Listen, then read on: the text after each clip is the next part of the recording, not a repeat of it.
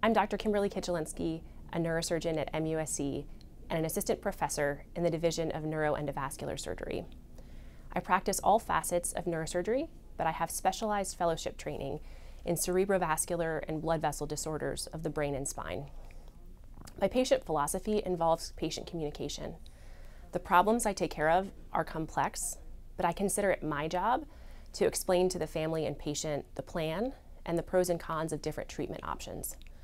I also consider it my job to understand the priorities of the patient so that we can combine that with my expertise of taking care of thousands of patients with these problems to customize a plan that values and honors the wishes of the patient. The highlight of my job is walking into the ICU to find a family member that gives a really astute update on how the patient's doing that proves that they completely follow the plan and the things that we're looking for. Patients should choose MUSC for the same reason I was so excited to join this team. It's an absolutely world-class cerebrovascular center. MUSC is atop the short list of the busiest and most well-respected programs in the country.